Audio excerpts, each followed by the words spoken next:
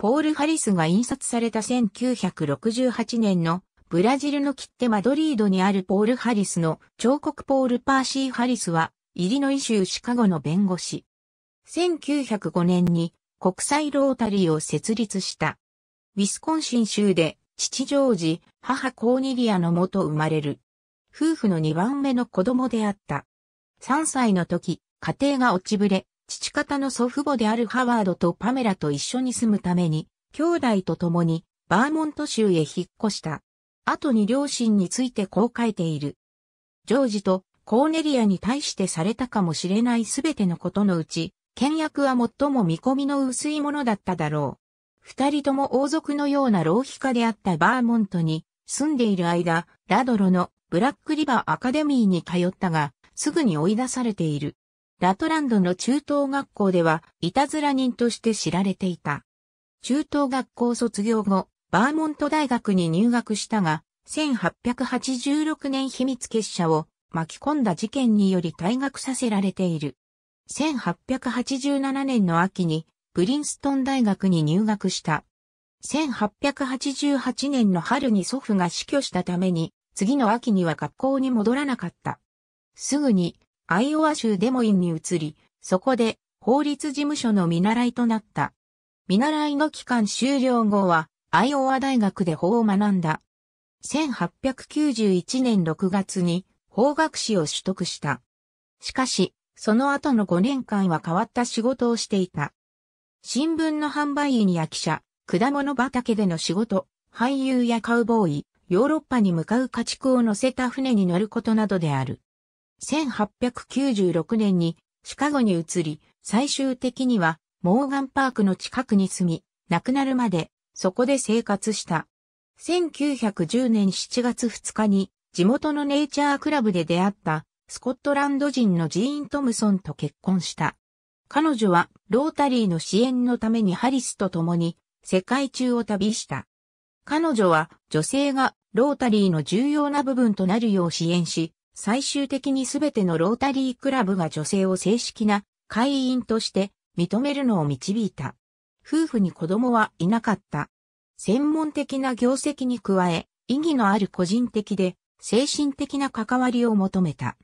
毎週日曜日に礼拝に出席したが、一つの集会に身を委ねるのではなく、多くの異なる教会を訪れた。晩年に自身の宗教との関係は自分自身と同じようにラベル付けするのが難しいと発言している。所属している教会はありません。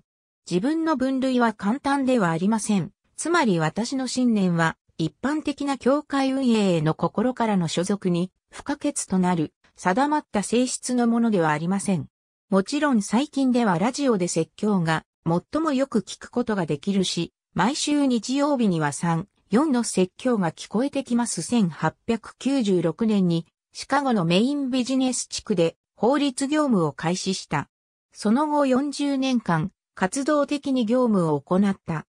自身の法律業務を確立後、地元の専門家のための社会組織を作ることの利点を検討し始めた。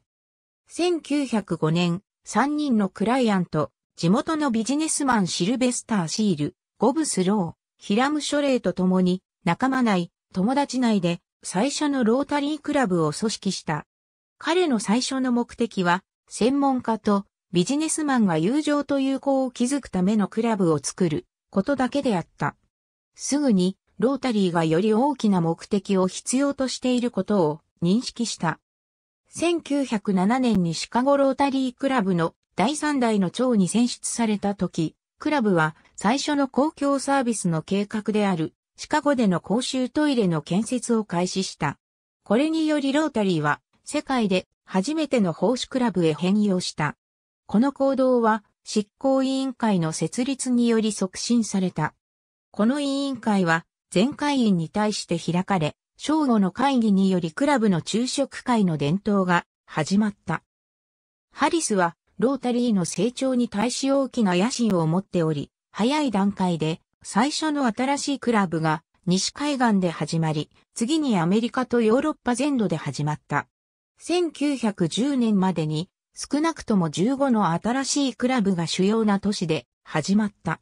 その8月に存在する16のロータリークラブによりシカゴで全国大会が開催された。そこで全会一致でロータリークラブ全国協会として統一することを選択した。最終的にその組織は国際ロータリークラブ協会となり、世界規模にするというハリスの夢が実現された。ロータリークラブとの業績を通じて、ハリスは多数の国の政府から賞を受賞した。ありがとうございます。